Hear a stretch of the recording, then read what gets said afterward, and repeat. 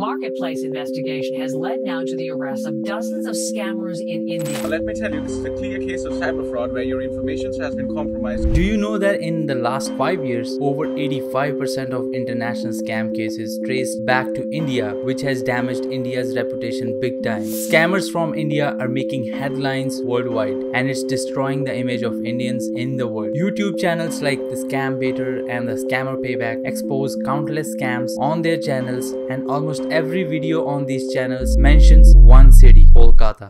The name has been synonymous with scams in the minds of millions of people worldwide. These YouTubers call out these scammers from India, especially Kolkata, trace their locations and even get them to confess on camera. India, a country with 1.4 billion people, is unfortunately becoming infamous for the scams targeting foreigners from countries like the US, Canada and the UK. This negative image is especially unfair for the millions of honest trying to build their successful careers in IT, customer service, and other industries in a foreign country like the US. They are the ones who suffer the most from the actions of a tiny percentage of bad people in India. Our tech industry is one of the fastest growing in the world, contributing over $245 billion to the economy in 2023. Yet the stigma of being associated with the scams undermine these achievements. The negative perception about the Indians not only hurts India's reputation but also impacts our economy as foreign companies become wary of outsourcing their services to Indian firms. According to data from FBI, US citizens have lost more than $10 billion to call centers running scams in India. And it's just not limited to the US. Reports indicate that globally, Indian scammers have swindled around $20 billion in the last few years alone. While the financial losses are immense, the human cost is even more significant. Many of the victims in these countries are elderly living on a fixed income. They lose their savings in an instant, often falling into depression or worse. A victim 82 year old woman, Florida, lost $50,000 in a tech support scam in India. These scam centers often operate under the guise of a startup or customer service call center, offering tech support to unsuspecting victims. Once they gain the victim's trust, they scam them into sharing their personal details and gain access to their bank accounts. The rise of these scam call centers isn't just a coincidence. It's the result of a perfect storm, rapid technological growth, high unemployment, and a lack of oversight. Let's go back to where it all began. For many young Indians, these call centers offered big money, which only a few other jobs could. But there's a catch it was a dirty money. They weren't selling products or services, they were selling lies. Imagine being trapped in a job where you know what you're doing is wrong, but you feel like you don't have any other choice. Many of these scammers are just teenagers or young college dropouts with no legitimate job, seduced by easy money. The people who run the call centers are the real villains. But these scams aren't just about the money. They're about something much more damaging reputation of Indians.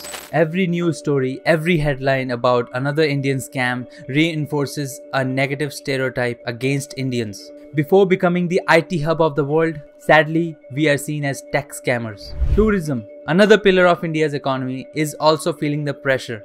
Travelers, especially from the West, are becoming increasingly cautious about visiting India. Every negative experience adds up. One bad review turns into hundreds, and so on. India is seen as a risky destination. According to the World Travel and Tourism Council, there was a 10% drop in international tourist arrivals to India in 2022.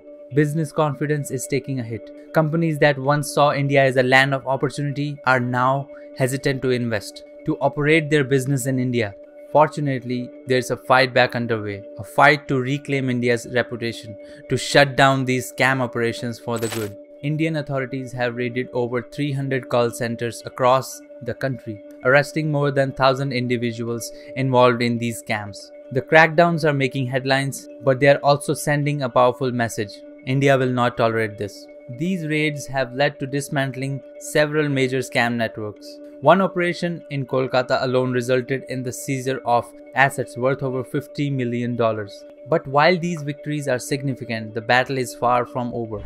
Police is urging the public to stay vigilant, reporting suspicious activities, educating the vulnerable, and staying informed are the key to keeping these scammers at bay.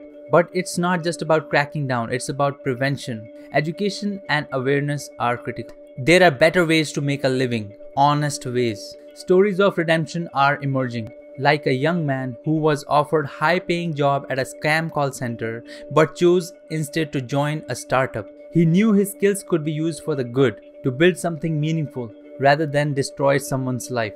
India's youth hold the key to its future. With the right guidance and opportunities, we can transform our image from one tainted by the scams to one of innovation and integrity. India's youth holds the key to its future.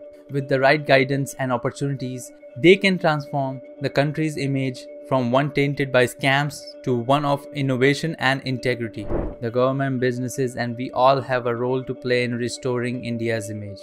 If you liked my video, please hit that like button and subscribe for more videos like this. Thank you.